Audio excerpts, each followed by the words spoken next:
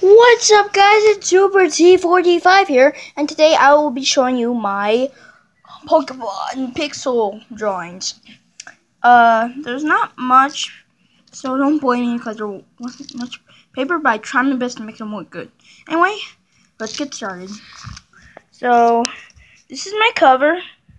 Uh, you see that that's me, and then I did a Pokeball. I got them all. Okay.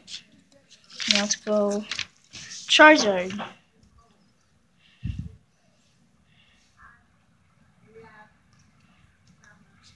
And then Blastoise. Blastoise. I don't know how to pronounce it. I forgot.